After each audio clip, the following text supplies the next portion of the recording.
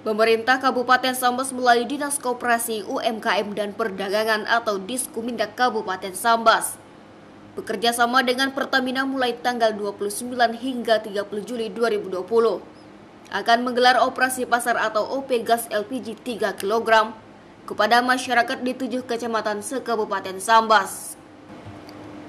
Hal tersebut disampaikan Musanib Kepala Dinas Kumindak Kabupaten Sambas Selasa 28 Juli 2020 di ruang kerjanya.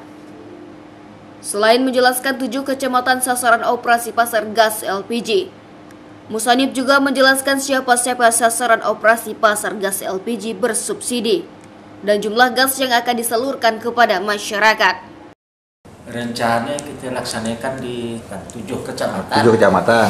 Sambas, Palu, Jawai, Jawai Selatan, eh, Tangerang, Teluk Keramat, Tebas. Nah, daerah-daerah ya yang memang kita hasil kita ke lapangan terjadi kelangkaan lah yang perlu kita sikapi gitu. Hmm. Nah, nanti ada beberapa kecamatan yang uh, masih belum bisa kita laksanakan itu nanti diusulkan lagi uh, masyarakat yang berhak dan membutuhkan nanti kan mereka uh, membawa KTP, bawa KK itu untuk operasi pasar. Hmm.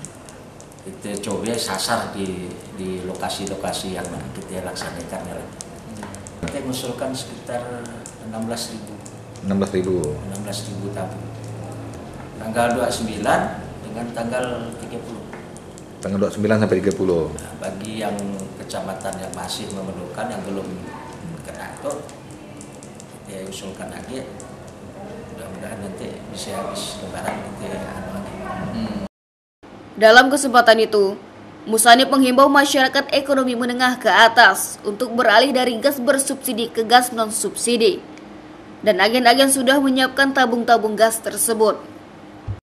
Kita memang sudah uh, berusaha untuk menghimbau supaya hmm. masyarakat yang di luar golongan masyarakat miskin dan usaha mikro ya untuk melaksanakan konversi lah penggunaan LPG. Hmm. Artinya beralih dari uh, penggunaan LPG yang subsidi ke yang non subsidi. Ya.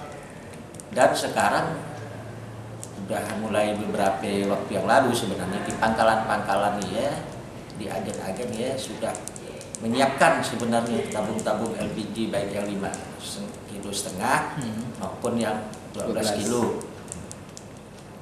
hmm. supaya masyarakat kita yang termasuk golongan mampu lah nah, bisa beralih golongan-golongan itu kan termasuklah di dalamnya ASN, TNI, Polri, hmm. dan lain sebagainya lah.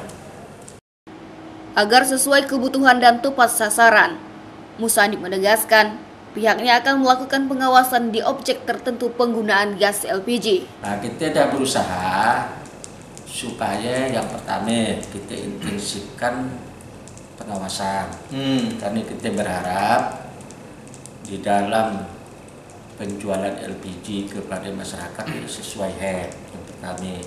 Kedua, tepat sasaran.